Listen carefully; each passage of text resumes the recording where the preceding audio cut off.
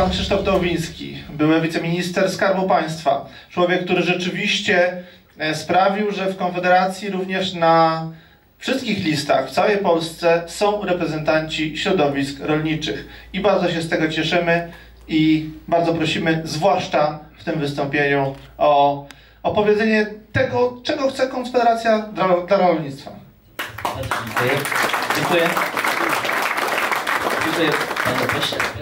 Sekundkę jeszcze. Bardzo proszę, jeśli są osoby, które się spóźniły na konwencję, to jest ten moment, żeby wejść na salę jeszcze. Bardzo proszę w tym momencie. Zapraszam, bo wiem, że, że jest grupa osób, która czeka, także witamy i zap- zapraszamy i bardzo prosimy, żeby wejść, wejść w tym momencie na salę. Tak, bardzo prosimy.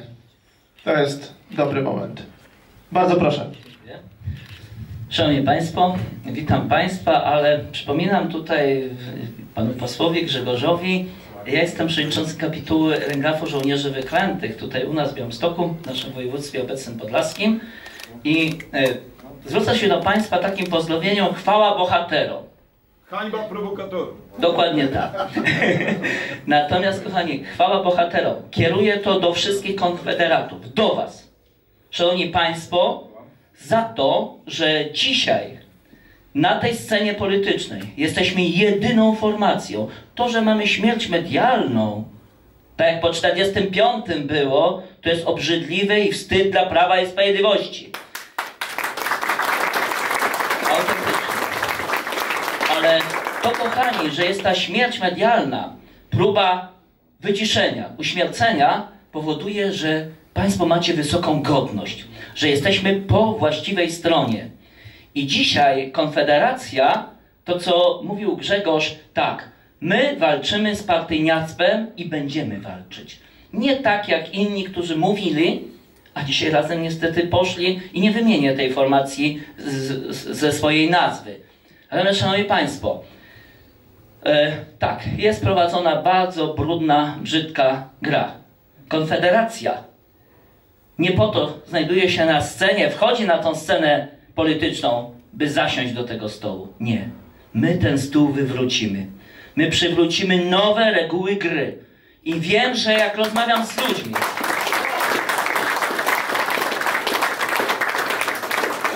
Kochani, troszeczkę tak bardziej na południe tutaj od Bugu, czyli za Bugiem, ale także jest Podlasie.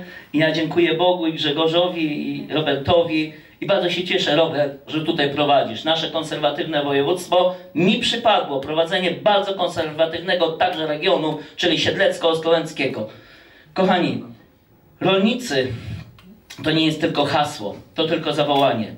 Jest kilka organizacji, my jesteśmy bardzo, bardzo skromni. Dzięki Grzegorzowi Braunowi żeśmy dołączyli, dzięki jego wizji, dzięki temu, że potrafił i moją osobę też, nie ukrywam, e, przekonać i pozostałych, że tu Konfederacja to jest właśnie to środowisko narodowe, konserwatywne, a przez to wolnościowe, bo nikt tak jak konserwatyzm i narodowiec nie broni wolności. To my stoimy na straży wolności. Niechwiejny liberalizm, nie lewactwo, które zawsze niszczy, nic nie buduje, tylko właśnie konserwatyści. Stąd rolnicy.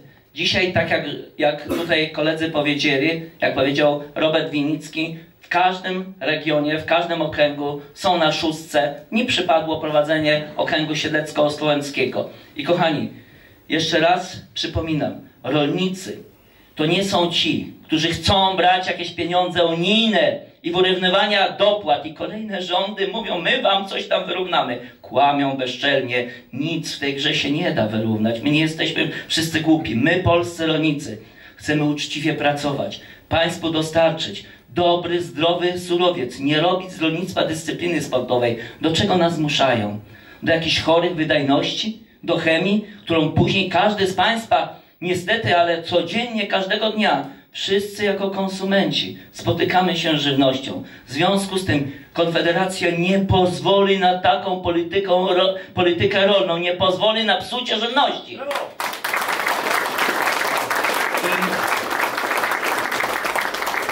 ten bardzo ważny wątek gospodarczy. Polscy rolnicy nie oczekują jałmużny. jakiegoś dawania.